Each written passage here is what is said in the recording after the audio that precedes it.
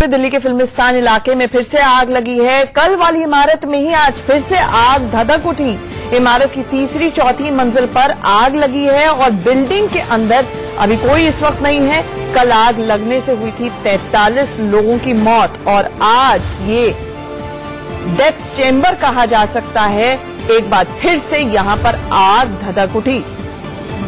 तीसरी और चौथी मंजिल पर आग एक बार फिर से लग गई। फिल्मिस्तान की इस रोड के ऊपर ये बिल्डिंग थी, अनाज मंडी में, जहाँ पर एक बार फिर से आग धधक उठी आज सुबह। दिल्ली के फिल्मिस्तान से ज़्यादा जानकारी दे रहे हैं हमारे सहयोगी पुलकित नागर। आज मंडी की तस्वीर देख सकते हैं फायर ब्रिगेड की गाड़ी है। वजह यह है कि आज सुबह यहाँ से फिर एक कॉल आई कि यहाँ पर फिर से उसी बिल्डिंग में आग लगी है, जिसके बाद फायर ब्रिगेड की गाड़ी मौके पर पहुँची और ये कॉल इस बिल्डिंग को लेकर ये थी कि दोबारा से इसमें आग की खबर है। हालाँकि कल कूलिंग की कूलिंग का मैसेज चला गया था, लेकिन जो जो जानकार है वो मान रहे हैं कि जो कूलिंग की गई थी, उसके बाद जो थोड़ी आग दोबारा से भड़की होगी। और ये फायर ब्रिगेड की गाड़ी आप देख रहे हैं, चार फायर ब्रिगेड की गाड़ियाँ सुबह यहाँ पे पहुंचाई गई थी, जब ये कॉल आई कि इस बिल्डिंग में दोबारा से आग लगी है।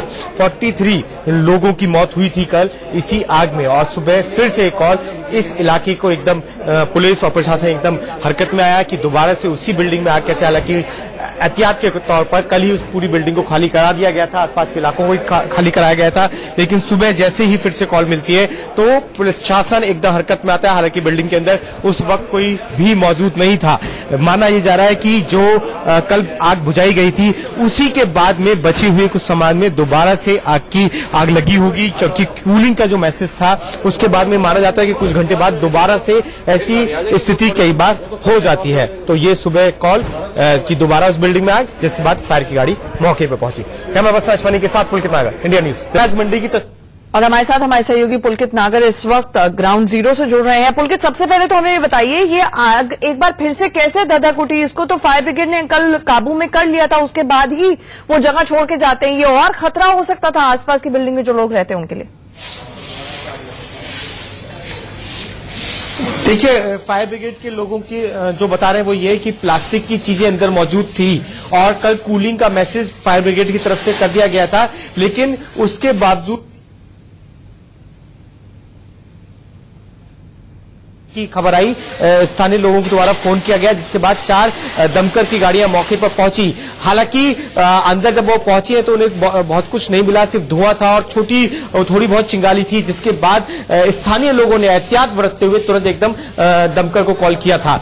मुश्किल से दस मिनट बाद दमकर की गाड़ियाँ यहाँ से चली गई। लेकिन स्थानीय लोगों का डर बना हुआ है क्योंकि अंदर जो बिल्डिंग है उसे बंद किया हुआ है और कल जिस तरीके से आग लगी थी पूरी की पूरी बिल्डिंग के अंदर उसे लेकर थोड़ी चिंता हालाँकि आसपास की बिल्डिंगों को कल खाली कराया गया था तैतालीस लोगों की मौत हुई थी। तो उस लोगों की चिंता यह है कि अंदर जो सामान है कूलिंग के मैसेज के बाद उसमें आज सुबह क्यों आग लगी दमकर पहुँची है मौके पर पहुँची लोगों के मन में सवाल है खौफ है इस तरह की आग एक बार फिर से ना धतक जाए ये भी डर है। पुलकित आप हमारे साथ जुड़े बहुत बहुत शुक्रिया। वहीं फिल्मिस्तान में रहने वाले लोगों का क्या कुछ कहना है ये भी आपको सुनवाते हैं। मैं तो कहता हूँ हमेशा के लिए ये ये सील पूरी अनाज मंडी पूरी सील कर दी जाए। ये हमेशा का ड्रामा है। यहाँ फैक्ट्री के अंदर क्या होता है? छोटे छोटे बच्चे काम करते हैं फैक्ट्रियों में पंद्रह साल शटर काम करते हैं। पूरी पूरी रात काम कर रहे हैं शटर नीचे गिरा देते हैं बच्चों को चाय पानी चुपचाप देते रहते हैं। अरे अंदर जाके देखो कितना बुरा हाल है। अब जवान जवान बच्चे मरे वो हमारे दिल से पूछो कैसे है? जिसके दिल पे बीतती है उसको मालूम होता है छोटे छोटे बच्चे। हम लोग है सारे लोग यही कर रहे हैं कि आज इतना बड़ा हंगाम हुआ कल ना हमारे साथ हुआ है। और किसी के साथ परसों हो भी सकता है तो हम यही चाहते हैं व्यवस्था जो तारों की है ये सुरक्षा करी जाए। इतनी बड़ी इतनी बड़ी कांड तो कभी कोई सोच भी नहीं सकता। अगर होता भी है तो छोटा मोटा होता है लेकिन इतना बड़ा घटना नहीं हो सकता। ये बहुत बड़ा घटना है। अग्निकांड में 43 लोगों की मौत ने पूरी दिल्ली को झकझोर कर रख दिया। हर तरफ़ चीख